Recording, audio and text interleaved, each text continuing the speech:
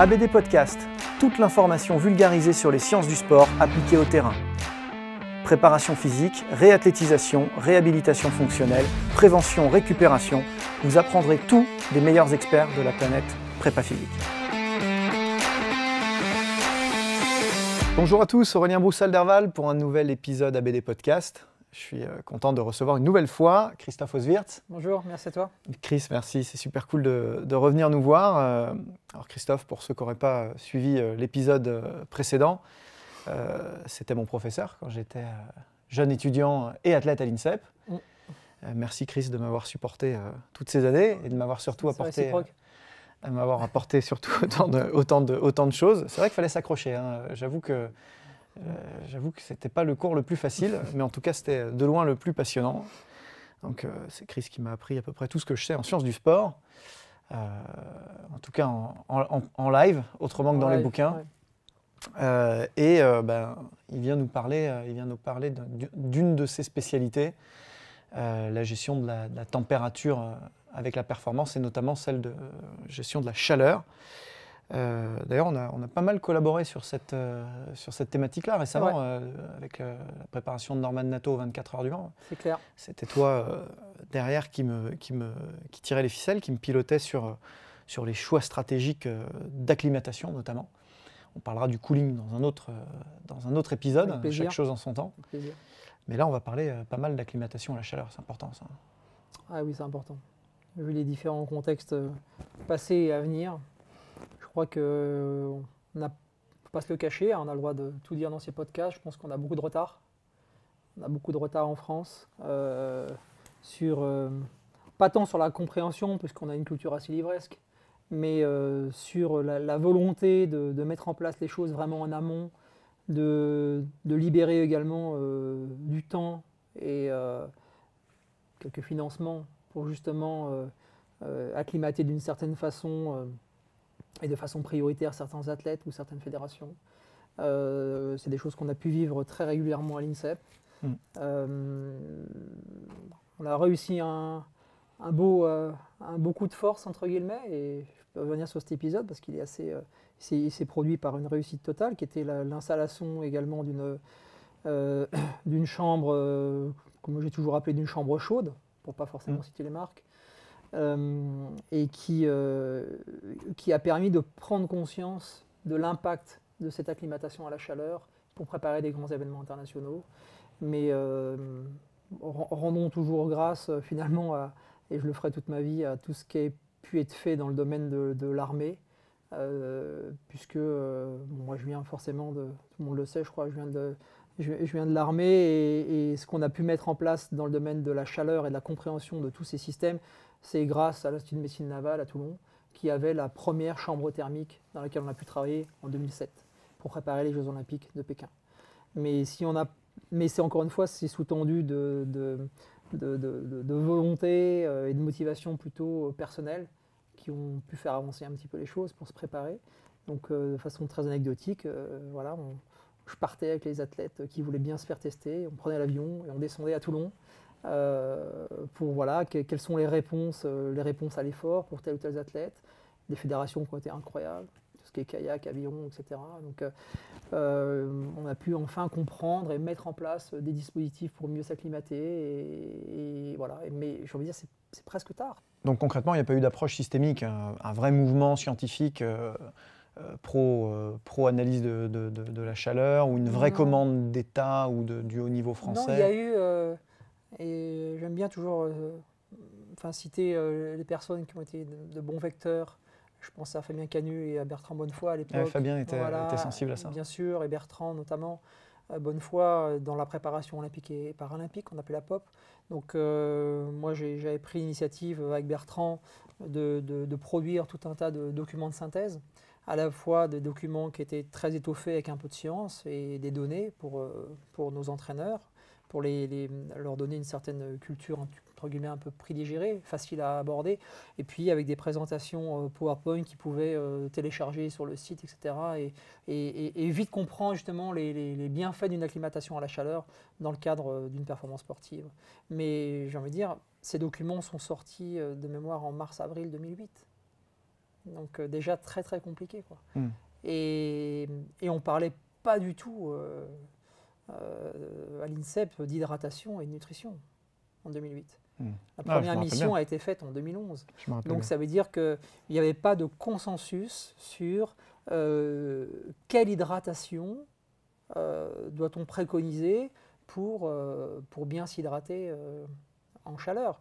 Et d'une part, et j'ai envie de dire, euh, quid d'une acclimatation et d'une non-acclimatation?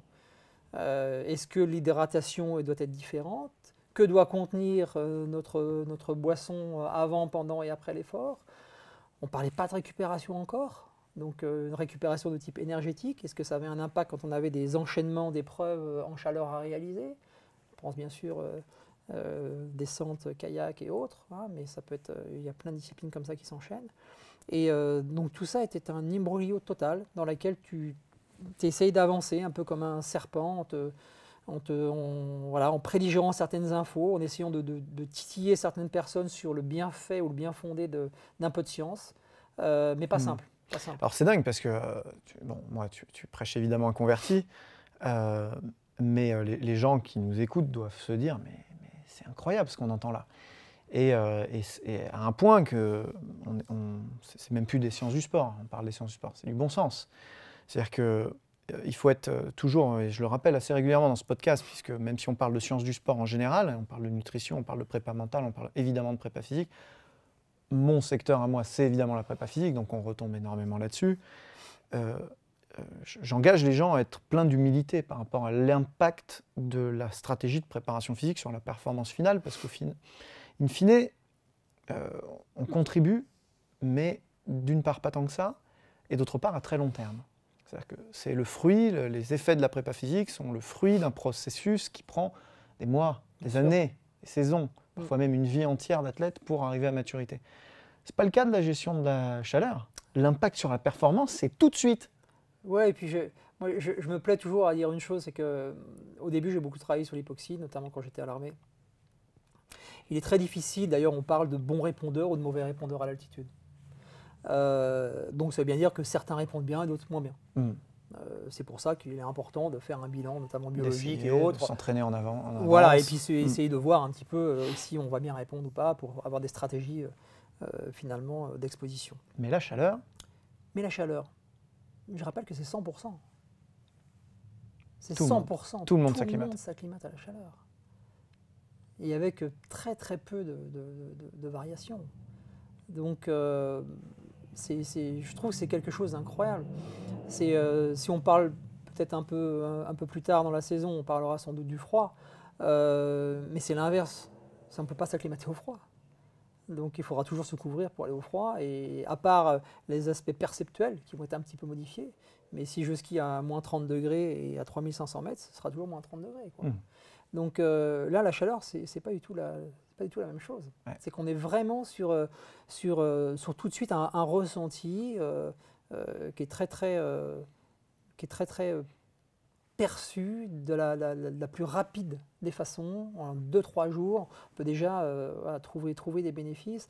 Alors on a toujours, j'avais avec, avec mon ami et collègue Yann Lemer, on avait co-encadré une très bonne thèse de, de Cyril Schmitt sur le domaine, qui a soutenu en 2018. Euh, et il avait très bien repris euh, euh, le modèle d'un autre de nos amis, qui est un très très bon scientifique que j'adore, qui est Guillaume Millet. Et, Guillaume, il m'avait bien rappelé son, comment sa, sa, virulence à vouloir faire passer dans SportsMed un, titre qui s'appelait The Flush Model, donc le modèle de la chasse d'eau. Et, et Cyril nous avait fait un peu le pari de reprendre ça dans le cadre de sa thèse, mais par rapport à l'acclimatation à la chaleur notamment. Et, euh, et je trouve ça très intéressant parce que finalement, on se rend compte que euh, la perception de l'effort que l'on a, c'est sans doute le meilleur critère que l'on ait pour savoir si on est acclimaté à la chaleur ou pas. Et euh, c'est ce qu'on a appelé un peu l'outil de régulation. Euh, et ce, RPE, bah, c'est ce qu'on a un peu dans la cuvette des toilettes, hein, euh, qui va monter et qui va descendre. On, a, effectivement la, vidange euh, vers le bas, donc quand, finalement le niveau d'effort, le niveau d'intensité n'est pas, trop important. Et notre RPE va monter jusqu'à avoir, ce trop-plein qu'on ne pourra jamais dépasser. Ce trop-plein, c'est sans doute les fameux 40 degrés que l'on a d'atteinte de température interne. Et c'est ça qui fait que le RPE est max. Quoi. Et donc on a sans, doute cette navette et de, chasse d'eau qu'on va, réguler au fur et à mesure. Et l'acclimatation à la chaleur, c'est ça. C'est de savoir où on met justement cette chasse d'eau et se dire qu'à un même effort, au bout de 3-4 jours, eh ben, mon RPE descend plutôt vers la vidange. Hmm. Et alors que je maintiens ma même intensité. Et du coup, le RPE à lui-même, euh, à l'image de ce que nous a montré, alors moi j'ai eu aussi quelques personnes qui m'ont bien inspiré dans la vie, donc Karl Foster a été euh, quelqu'un euh, que j'ai beaucoup apprécié. Et quand il nous a parlé de charge interne, on est, on est typiquement là. quoi. Hmm. C'est que multiplier une intensité par, ou une fréquence cardiaque par, par un effort perçu, ça reste quelque chose qui est important, et pour lequel je recommanderais toujours d'avoir cette simplicité et de questionner vos athlètes sur euh, comment il a ressenti euh, l'effort. Et l'acclimatation à la chaleur, c'est ça. Bon, je vous félicite pour vos lectures aux toilettes, les mecs. Euh, je, vois qu'on n'arrête jamais le cerveau. sont un peu. c'est Guillaume. Tout, hein, tout juste, tout, au plus un peu obsessionnel. et bon, en tout cas, peu importe d'où vient l'inspiration, à la fin, c'est très très clair. et, c'est vrai que quand, quand, on, quand, on, regarde la performance droit dans les yeux, en tout cas des sports d'été euh, extérieurs. Euh, j'ai évidemment la discussion avec Seb Durand en tête. Euh, je vous engage à regarder les, podcasts qu'on avait fait avec Seb sur la, prise en charge du sportif et la gestion de la charge. sur, sur l'Open d'Australie, par exemple, où on a littéralement l'impression de mettre la tête dans un four. Bien sûr. il n'y a pas besoin d'être docteur en, sciences du sport ou, ou, préparateur physique à haut niveau pour se dire que évidemment, ça va impacter énormément euh, le physique et le psychisme de, l'athlète. C'est évident. Et que toute stratégie qui sera mise en œuvre en, amont va favoriser euh, son intégration dans ce milieu hostile. Donc euh, typiquement, moi, on a collaboré, je le disais en introduction, avec Chris assez intensément sur, sur, certaines thématiques. notamment, c'est Chris qui était derrière la science autour de Norman Nato, le pilote français phare aujourd'hui de l'endurance en sport auto. Donc typiquement, le, sans doute un des mecs les plus exposés euh, à la chaleur, notamment aux 24 heures du Mans, quand ça se passe, quand c'est sous la pluie, c'est sous la pluie, mais quand euh, c'est en plein cagnard, en plein mois de juin, euh, pendant 24 heures. Bien couvert. le tout en plus voilà, bien enfermé, dans une bulle avec en plus un moteur qui vous restitue de la chaleur encore plus. Mm.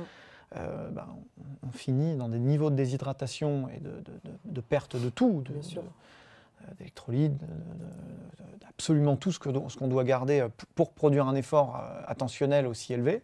C'est énorme. On se dit, mais euh, voilà, qu'est-ce qu'on fait? Alors moi, personnellement, euh, voilà, je suis dans le sport professionnel, on la loue, cette, cette chambre chaude à l'INSEP, on s'entraîne là-bas pendant une semaine. Il y en a un peu partout maintenant, donc ça, c'est un peu l'avantage. En, hein. en, avance, effectivement, on en trouve de mm. plus en plus. Euh, on, peut, on peut parler un peu de la technologie, que les gens ne croient pas qu'on s'entraîne dans un sauna euh, classique? Non, non, non, non, justement, ça n'a absolument rien à voir. Pour...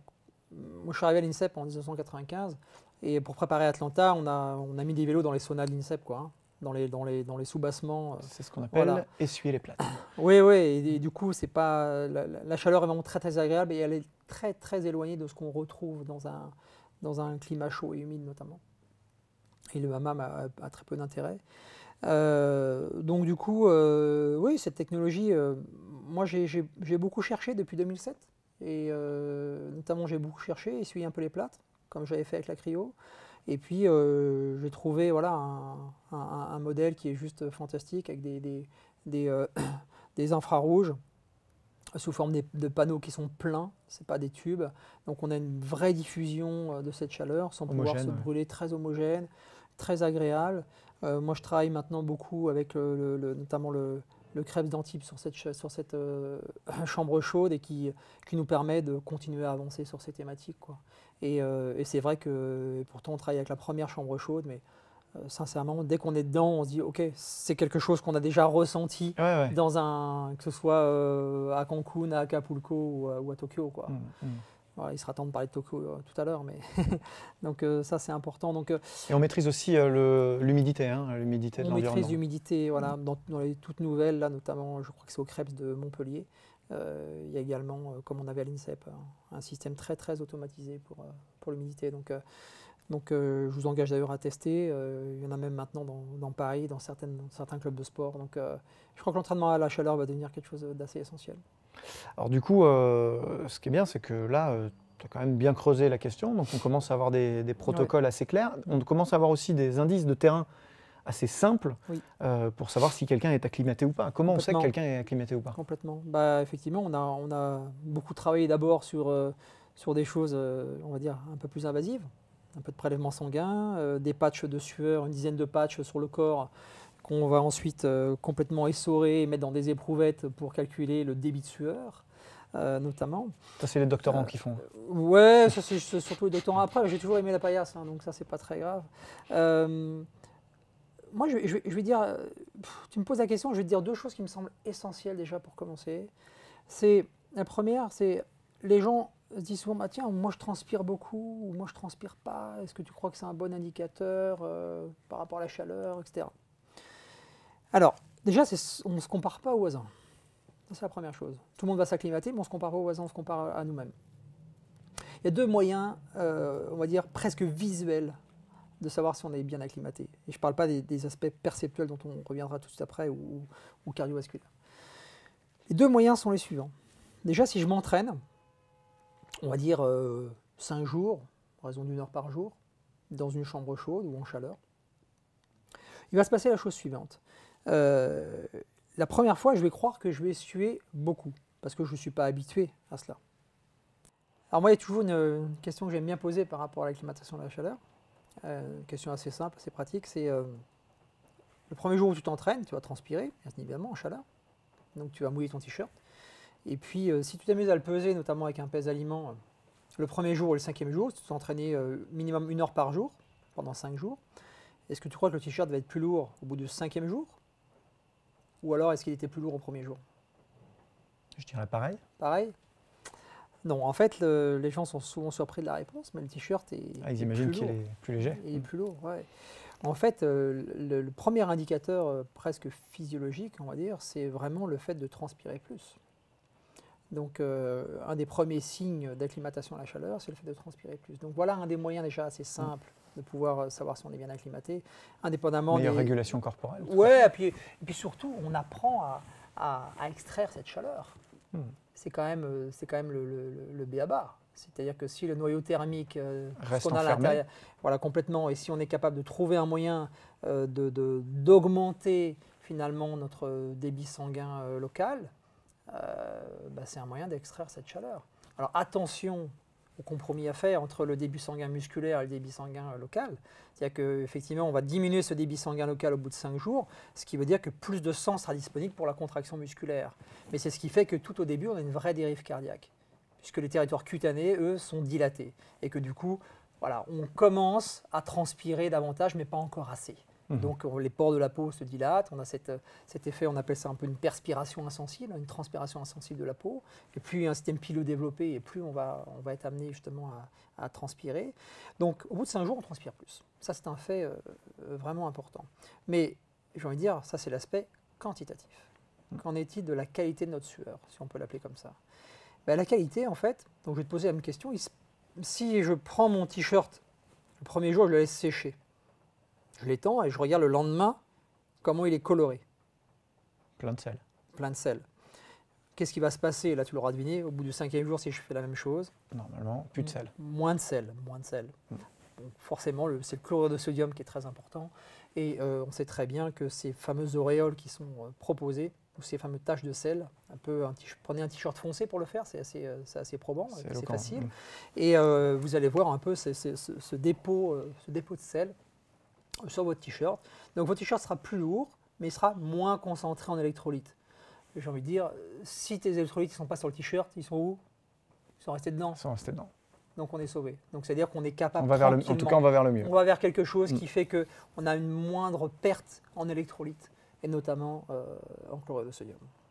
Donc ça, ça devient important. Donc ça, c'est pour les choses qui sont les, les plus simples, les plus, euh, les plus basiques. Et il y a deux éléments euh, qu'on peut corroborer à ça les éléments qu'on appelle perceptuels.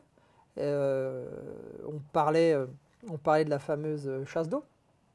Donc ce fameux RPE, hein, euh, qui est l'effort perçu, hein, tout simplement, l'échelle d'effort perçu. qui marche très très bien et qui nous permet de se dire que si j'ai commencé à une certaine intensité, imaginons, si on parle de course à pied, ça parle à pas mal de personnes, si je m'entraîne à 12 km/h et que je cote par exemple, on va dire, euh, allez, à 15 sur 20, hein, en, difficulté de l'effort, 20 étant très très difficile, euh, si je maintiens ce 12 km/h 5 jours après, je vais peut-être coter à 12. Et cette diminution vers la vidange de ma cuvette des toilettes fait qu'à un moment donné, je diminue mon RPE et donc ma pénibilité à l'effort est moindre. Donc je suis en train de m'acclimater à la chaleur. Mmh. Et d'un point de vue cardiovasculaire, donc euh, si on augmente le débit, euh, cutané, hein, local, euh, le débit sanguin cutané, forcément le retour veineux se fait un peu moins bien. Donc je vous passe les détails, mais du coup, on a un volume d'éjection systolique qui est un petit peu moindre, un volume courant qui est moindre et une fréquence cardiaque pour compenser qui est plus élevée. Cette fréquence cardiaque plus élevée, c'est ce qu'on ressent dès la première séance. Si je cours à 20, euh, non pas 20 km/h, mais 20 degrés à 12 km/h, et si je cours à 35 degrés à 12 km/h, je vais avoir un niveau de fréquence cardiaque qui va être plus élevé. Immédiatement. Et ça, c'est individu dépendant. C'est sûr, mais certains vont avoir 15 battements, certains vont en avoir 7, etc. Donc c'est pour ça qu'il ne faut jamais se comparer euh, aux voisins. Hmm. Et tout ça va se niveler au fur et à mesure qu'on va s'acclimater. C'est-à-dire que le débit sanguin musculaire va reprendre un petit peu le contrôle, d'accord, puisqu'on va être capable d'évacuer énormément de sueur puisqu'on sue davantage.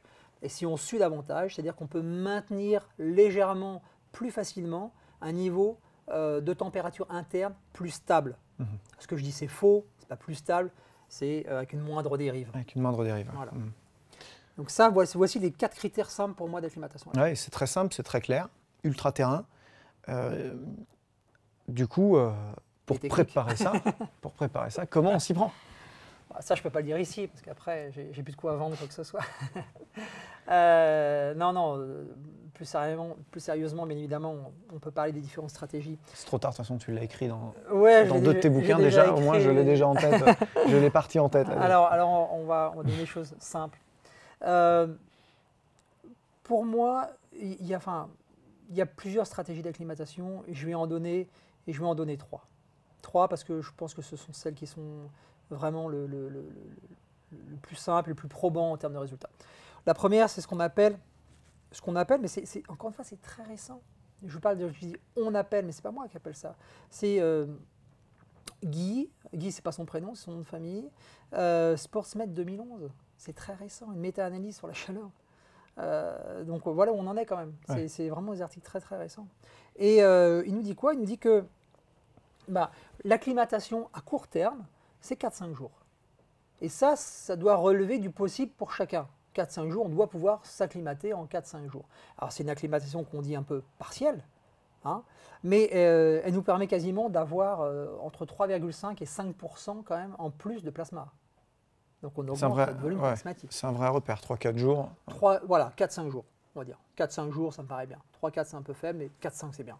Donc si on est sur 4-5 jours, à raison de 45 minutes euh, minimum, hein, on aime bien une heure, euh, à des intensités, on va dire, pour ceux qui connaissent un peu au second seuil ventilatoire. Donc mhm. on commence à hyperventiler un tout petit peu. Hein. Euh, quelqu'un qui aurait une VMA euh, à 20, on va dire qu'il faut qu'il court à peu près à 14, quoi, 14, 15. S'il est bon, il va courir plutôt à 16. Mais attention, à pas trop trop s'entraîner. On, on, veut vraiment s'acclimater, on n'est pas sur une forte intensité. donc ça, c'est assez rapide, c'est 4-5 jours. Et puis, euh, des conseils, surtout après aussi en réhydratation, euh, avec euh, un enrichissement en sodium notamment. la deuxième stratégie qui est possible, c'est ce qu'on appelle plutôt une stratégie à moyen terme, c'est entre 7 et 10 jours. Là, c'est intéressant parce que, alors nous, on l'a testé sur, sur deux études et on n'a on pas seulement fait de la mesure du volume plasmatique en faisant une prise de sang, on a fait aussi du, euh, du CO rebriefing, euh, c'est-à-dire qu'on absorbe un peu du, monoxyde de carbone et on voit ce qui se passe vraiment dans l'organisme.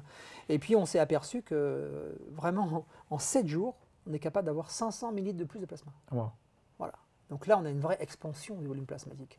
Euh, donc là, on est vraiment en train de s'acclimater. Donc 7 à 10 jours, ça suffit largement. Sur les mêmes stratégies, l'idéal, c'est de jamais louper une journée. Voilà, de continuer à. Et si on n'a pas l'occasion d'aller dans une chambre chaude ou autre, j'ai envie de dire, Au pire, euh, mettez les radiateurs et mettez 30 degrés chez vous. Enfin, c'est ce qu'on c'est ce qu'on fait aussi, ce qu'on propose euh, pour Mhm. poursuivre une acclimatation à la chaleur. J'aime bien cette acclimatation. Quand on disait, j'en j'en ai une qui est entre deux. Il y a un, un très bon papier euh, qui était sorti de, de Garrett en 2011. Il dit quoi? Il dit que il a testé sur l'équipe de Nouvelle-Zélande d'aviron. Et, et ils, sont, ils, sont- ils ont fait 5 jours seulement d'acclimatation, voilà, mais dans des vraies conditions, conditions euh, pré-compétitives. Donc ils sont arrivés avant, il y a eu des vols domestiques, etc. Et puis euh, ils sont aperçus qu'ils ont comparé avec un 2000 mètres qui avait été réalisé en conditions normales. Mhm. Ils ont quand même gagné 4 secondes sur un 2000 mètres Wow. et ils ont gagné 14 battements. Voilà. Donc voilà, même sur du très haut niveau, ça marche. Mhm. Donc ça marche vraiment sur tout le monde. Donc on est entre 7 et 10 jours, euh, en fonction du temps qu'on peut avoir. Alors, se dire qu'on est là, on se dirige vers une acclimatation plus complète. D'accord? L'expansion du volume on l'a- plasmatique peut frôler les 10%. On n'est pas loin de. Voilà. On, on- Guy, dans sa méta-analyse, dit qu'on est à peu près à 7% de, de volume plasmatique, donc, euh, ce qui est déjà super bien. Ouais, une Et vraie puis, on- adaptation. On, on baisse quasiment de 7 battements par minute de fréquence cardiaque. Donc ça, c'est un vrai indicateur. Hmm. Mais on peut aller jusqu'à 14 comme euh, cette étude de, de, Garrett. Et la dernière que j'aime bien, je ne vous parlerai pas de la, stratégie à long terme, qui pour moi est toujours un peu compliquée, plus de 14 jours, etc. Euh, pas très pratique. Et par contre, j'aime bien le protocole intermittent, parce que ça, on l'a mis en place assez souvent. Le protocole intermittent, c'est un jour sur deux. Un jour sur deux, donc il y a des études qui montrent que ça marche bien. Pas tant sur la perf, mais sur la, par exemple, euh, c'était pour le football féminin. C'est Sunderland qui a fait ça en 2008. Il dit, bah voilà, euh, on a pris euh, nos filles à haut niveau, et puis on a pu montrer qu'on augmente la distance parcourue de quasiment euh, 25%. Voilà, au bout de. C'est un peu plus long, c'est quasiment trois semaines, mais c'est un jour sur deux, donc un peu moins contraignant. Et puis, euh, nous, ce qu'on propose dans la pratique, c'est de se dire que les jours off, si vous continuez à vous entraîner, bah, euh, mettez des radiateurs, exposez-vous en sauna, en passif, continuez à avoir cette stimulation pour garder bien les bénéfices. Quoi. Hmm. Donc voilà, pour moi, les trois stratégies vraiment essentielles d'acclimatation à la chaleur. Ah, c'est intéressant parce qu'effectivement, selon les, selon les réalités d'un sport à l'autre, euh, le- le- l'exposition de l'entraîneur, de la- de l'athlète à l'entraîneur ou au sport scientist, euh, le- on n'a- pas tous les mêmes contraintes et les mêmes euh, Bien capacités sûr, à s'adapter. Il faut aussi des fois trouver, alors idéalement trouver effectivement une chambre chaude. Oui, oui, et donc du coup, on n'y aura peut-être pas forcément accès plus que 5 jours. Donc voilà, on, a euh, déjà des, des pistes de travail assez. On euh, a une belle assez simples. latitude en fonction des sports. euh, mais comme je dis toujours, essayons de comprendre d'abord la contrainte et l'énergie dépensée d'une discipline, des contraintes perceptuelles, mécaniques, physiologiques. Et puis derrière, euh, essayons de regarder l'output. hein, en sortie, on a quoi et qu'est-ce qu'on veut. Quoi. Et dans cette fameuse boîte noire euh, chère à notre ministère, euh, on, est, on est capable d'évaluer le protocole idéal pour avoir des améliorations physiologiques ou des- des- un apprentissage qui va faire qu'on sera plus performant demain. Hmm. Il va nous falloir un jour une, euh, une chambre chaude embarquée qu'on prend dans nos poches. Je crois que c'est à peu près ce que j'ai fait dans le domaine du froid, d'avoir un camion avec du froid dedans. dont on parlera dans notre, prochaine, euh, dans notre prochain plaisir. épisode avec grand plaisir. En tout cas, merci d'être venu nous voir prie. et de partager librement euh, toutes ces techniques. Vous pouvez en savoir beaucoup plus évidemment sur, sur Chris qui en garde sous le pied, je le connais. Euh, sur tous les réseaux sociaux, euh, vous le retrouverez sur Twitter évidemment. C, ouais, euh, sur LinkedIn, il est aussi très très actif. Et puis il a un centre, un centre d'expertise et d'évaluation Oui. Euh, dans le sud de la France, à Sophia Antipolis, Sophia Antipolis, la technopole de Sophia, voilà, qui s'appelle Biscord. Discord. Voilà, donc n'hésitez pas. Et puis euh, il a plus de 100 publications sur PubMed. Donc si vous commencez à mettre le doigt dans l'univers très varié, très riche de Christophe Oswirth, Mm. vous avez quelques nuits blanches devant vous. Chris, à très bientôt. Merci à toi, à bientôt. C'était ABD Podcast, votre émission 100% préparation physique et sciences du sport. Abonnez-vous, suivez-nous, partagez-nous. Écoutez-nous sur Google Podcast, iTunes, Deezer, Spotify. Regardez-nous sur YouTube ou directement sur www.broussal-derval.com.